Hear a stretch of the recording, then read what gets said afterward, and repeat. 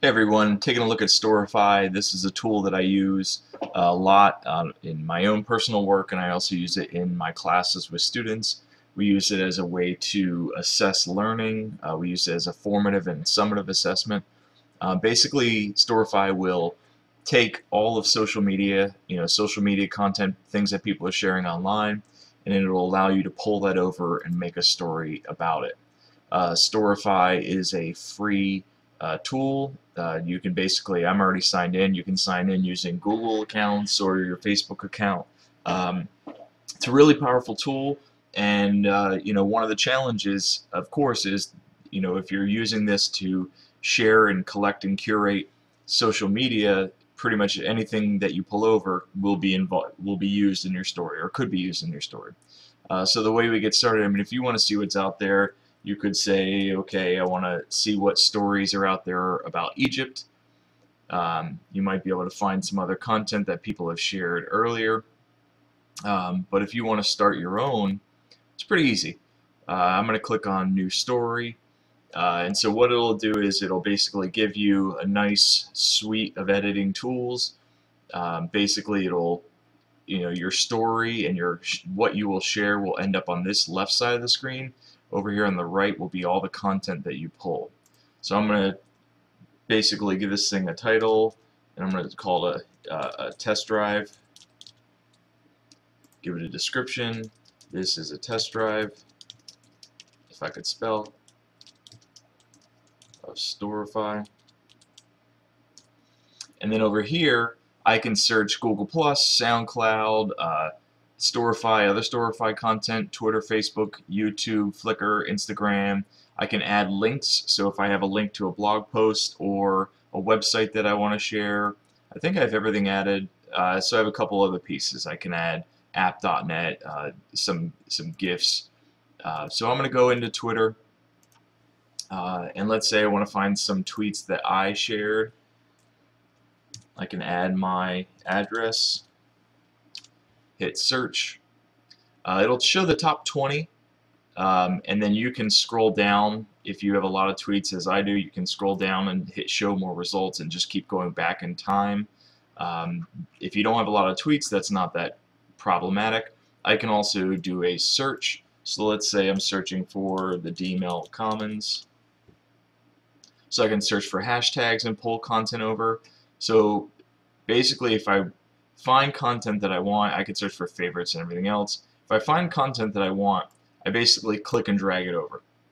Okay, so it's pretty easy. I'm clicking and dragging, uh, pulling content over uh, just for ha-has. Let's take a look and see what people are sharing. Uh, I want to look on Google Plus for uh, the DML Commons. See what people are sharing over there. So we see one piece um, so once I have content over here, I can click and I can drag the content to a different order. Um, I can also, if I want to, I can click in the middle and I can add text. So one thing that I do is I have my students enter text here uh, to reflect. So they basically go in, they'll share a bunch of content, They'll indicate uh, what they've learned over the course of a week. They'll tell me where they learned it, you know, send me individual tweets showing me what they learned and how they connected with others. And then in between, they'll have little text boxes letting me know uh, or, or, reflecting or digging a little bit deeper to tell me what they learned and, and basically what they got from that individual content. So after you're done and you look through all of your content, what you're going to do is uh, you can format all this. We're going to hit publish. So I'm going to click on view and publicize. And so one thing it'll do is it'll basically tell me um, that it's going to notify other people that I've been talking about them. Okay, it'll also send out a tweet sharing this story. This is really nice because it allows you to connect with your personal learning network and let other people know that you're talking about them. Um, and then the nice thing about that is that they'll probably you know talk about you and share your work. Um, so if I get rid of that, I can go in here and I can this is the page for the test drive that I just created. I can go back in and edit and restart this thing. I can embed it into a website or a blog post, which I definitely recommend. I can change the template if I want to and change that a little bit. I can re-notify people.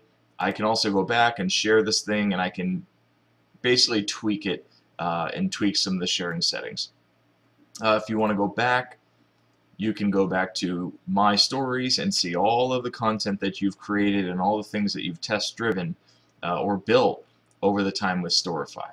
Uh, so once again, this is Storify. It's a great tool. It's free. Uh, you can use it uh, to create stories using social media.